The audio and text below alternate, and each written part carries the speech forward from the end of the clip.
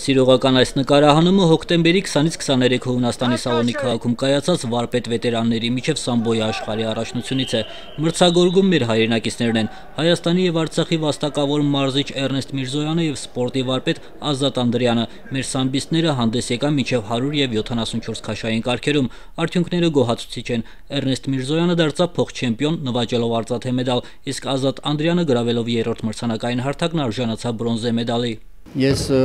ունեցա երկու գոտեմարտ, որը պարտվեցի ռուսին եւ հաղթեցի կիրգիզին։ Իսկ Էրնեստ Միրզոյանը 3 գոտեմարտ արեց։ Երկուս փայլուն հաղթանակ կրեց ցավեցնող խնարկով եւ եզրափակիչում զիջեց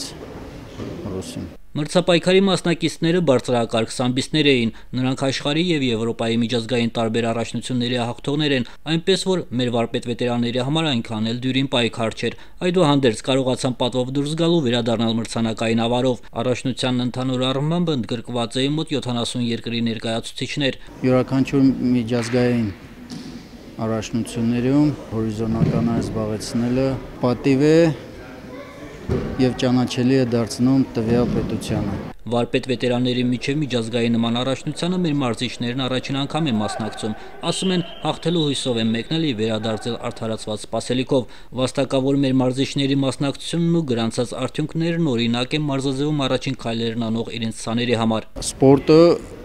հայազգի արյան մեջ է։ Անկախ տարիքից պետք է մարզվել։ Սամբոն Արցախում սիրված ու հետաքրքրություն վայելող մարզաձևերից է։ Մեր մարզիկները միշտ էլ հաջողությամբ են հանդես գալիս մրցաշարերում, լինեն դրանք հանրապետական թե միջազգային կարգի։ Ոլորտի ներկայացուցիչներն են վկայում, մարզաձևի զարգացման գործում անուրանալի դեր ունի Հայաստանի եւ Արցախի վաստակավոր մարզիչ Էրնեստ Միրզոյանը։ Ընդհանուր առմամբ մոտ 200